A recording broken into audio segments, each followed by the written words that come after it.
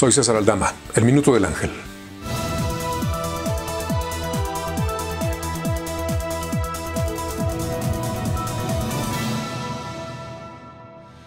A ver, Andrés Manuel lo ha dicho, pero sus detractores no lo quieren escuchar.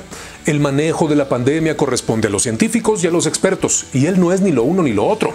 El presidente le habla a alguien más. Por eso, dice que domamos la pandemia, se va de gira, no usa cubrebocas, habla del regreso a la actividad y de evitar rebrotes como si ya hubiéramos alcanzado el punto más alto del COVID, y aún así sigue el 50% de aprobación. Cuando la oposición hace sus protestas desde el estómago, en Twitter o en sus coches, solo porque desprecian a Andrés Manuel y se centran en él, lo único que hacen es darle al clavo del discurso presidencial, los que tienen y los que quisieran tener, contra el pueblo.